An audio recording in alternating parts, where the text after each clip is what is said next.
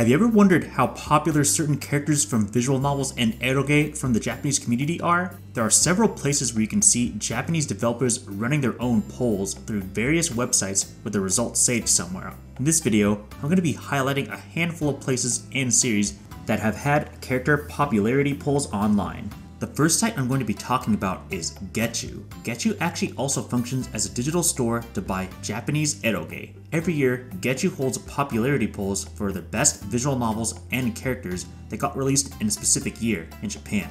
By going to the right page, you can find the top 10 most popular characters for that year. For example, in 2022, Hiyori from Hamidashi Creative Totsu won first place, but results are tracked all the way back to 2009 where Rain from Baldr Sky won. By editing the URL, all you have to do is change the year number and you'll be taken to the results for that year.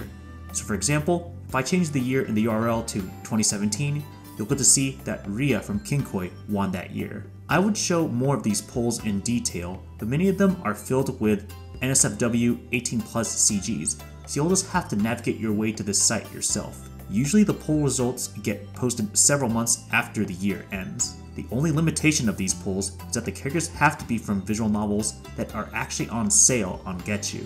Many times, bigger companies like to wait for anniversaries to run online popularity polls. Key made a 15th anniversary poll where users could vote for their favorite key characters from their various visual novels like Kanon, Air, Rewrite, etc. Kyosuke Natsume from Little Busters won. Keep in mind this poll was done very shortly after the original Summer Pockets visual novel released in Japan, so there's some recency bias for Summer Pockets characters and no characters from visual novels like Reflection Blue or Lunaria included. Another example of a long-running company doing a poll of all their characters is Favorite, where Yume Ototsu from Hoshizora no Memoria won. It's unfortunate that other favorite visual novels aren't translated yet, because I'm sure stuff like Iro Toridori no Sekai and Sakura Moyu would be decently popular among the Western fanbase. When a certain visual novel series gets popular enough, some companies tend to run anniversary polls just for that specific series. An example of that is the Grisaia series by Frontwing, where they had separate polls for each story in the series. For the original Grisaia trilogy poll, Kazuki won. For the Grisaia Phantom Trigger poll, Murasaki won.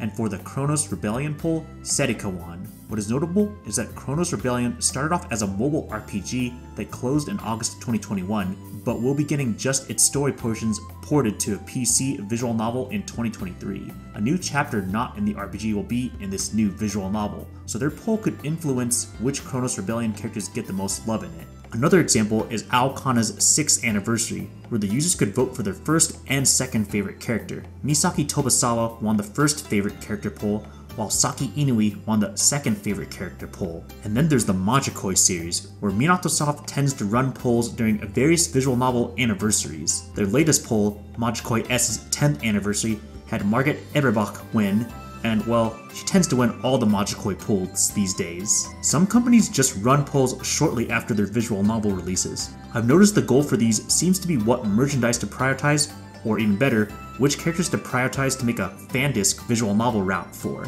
A perfect example of this is Top, starting with If My Heart Had Wings or Konosora. While Kotori Habane won the Konosora poll, Hotaru Himeki and Kanako Shigure were the most popular characters who did not have a route in the original, and lo and behold, in Flight Diary, they were the first two to get a new route. Pulltop did a similar thing with Miazora or A Sky Full of Stars. While Saya Amanogawa won by a landslide, Honoka Yoshioka and Miharu Saotome beat every other character, including characters that had a route in the original. Lo and behold, they got their Fine Days routes first, with Hiraami Yamada, who basically tied with Hikari, got a short DLC route not too long after. There's also cases where companies run popularity polls so they can figure out which scaled figures they want to make. For example, Yuzusoft ran a Senren Banka poll where Mako Hitachi won by a decent amount. Lo and behold, we now have a multi-hundred dollar scaled figure of Mako. Similarly, they did a Riddle Joker poll where Nanami Arihara won by quite a lot.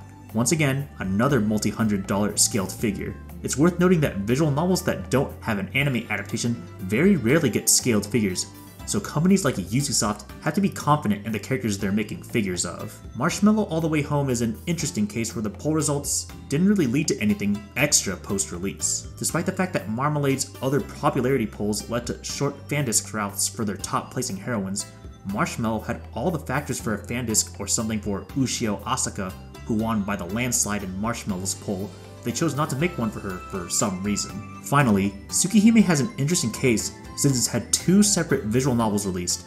The original back in the early 2000s, and the first half of the remake A Piece of Blue Glass Moon in 2021. Both had their own polls by Type Moon, and it's interesting to see how the results differ.